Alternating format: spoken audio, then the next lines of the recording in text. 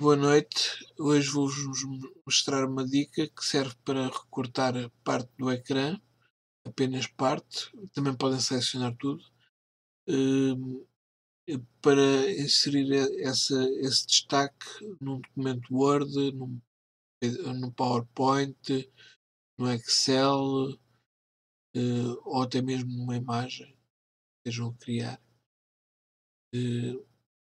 Isto é muito simples, basta fazer janela Shift S, o ecrã escurece e dá-nos aqui uma mira em que podemos selecionar, podemos copiar. Depois é só fazer um, um novo documento.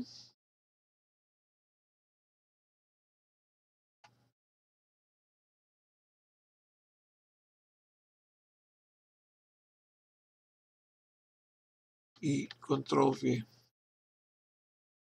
Pronto, temos apenas a parte selecionada no, no documento sem grandes eh, problemas. É, é muito simples.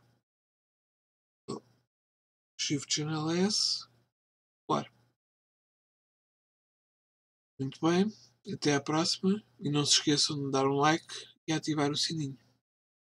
Obrigado.